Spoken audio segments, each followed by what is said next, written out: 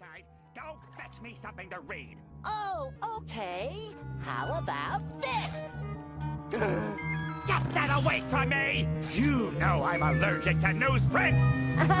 you know, when you swatted that newspaper out of my hand, it reminded me of something a friend of mine did.